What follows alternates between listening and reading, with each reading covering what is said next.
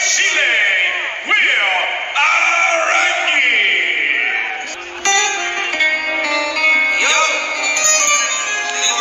Okay, so this is the Chilean Will Aranguiz. Will Aranguiz that's here. Very, very good fighter. His style reminds me of the Ramon Dekkers, the Diamond. Hook on the body, followed by a low kick with the right leg. I hope he uses it. Those are two very good eh, Muay Thai fighters. The Chilean Will, he has a very strong Muay Thai style. He likes to throw the left hook with the right low kick and makes him very dangerous. Very, And- very confident as well, Kyle. I mean, this guy comes in with that smirk on his face. Very, very confident coming into this fight. It's a little bit misleading because those guys show one MMA fight, two MMA fights, but they have lots of Muay Thai fights. The caliber of fighters that you're going to get in Thailand just on a regular basis, guys that do their camps there, that live there, and of course the uh, lineage of Muay Thai in Thailand. And right now, that uh, he had a couple of low kicks and now a right kick, and he's happy for Will to fight standing up. Both of them had uh, submissions on their MMA records, but I think they feel more comfortable unless one of them start, start prevailing, then the other one might might try to take down. But you should not be uh, underestimate any of those fights. They're No. they're very good. Now, just to make it onto this stage, to make it all the way here to the UAE and be a part of this show, already shows that you are an elite talent. And obviously, the matchmaker's seeing a lot of promise in both of these guys, especially Hamza Bogamza, with a one in one record to be here at UAE Warriors is a big accomplishment. As you can see, a lot of support out here from the fans. They're making a lot of noise, having a blast.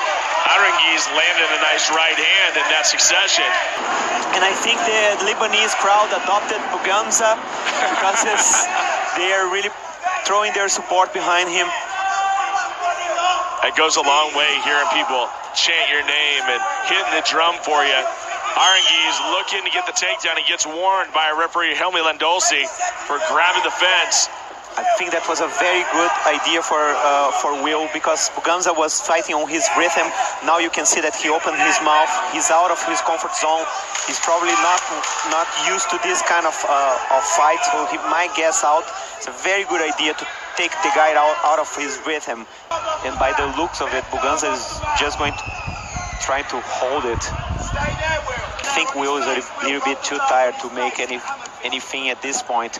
Even the, his left hooks to the body now are not strong. He should be actually putting everything down. This is the last round, one and a half minute, and he's next to his corner, Well, I so mean, he I- can it- hear the instructions. I, I think he's just a little tired at this point. I think he's, he's Oh. a little spent. He steps over there for the half guard, does Aranguiz, but he can't get anything He- done. And now we're getting some wall walking. He's going to oh, jump oh, on the he could win this fight. Oh, wow, Aranguiz. Oh, he missed it. He's getting 98% in all the time and not being able to finish. Now he's mounted. Final seconds of the fight. Who's it going to be? Is it going to be Will Aranguiz Will or Hamza round, Bogamza? He wins the last round, though. Look at that, though, going.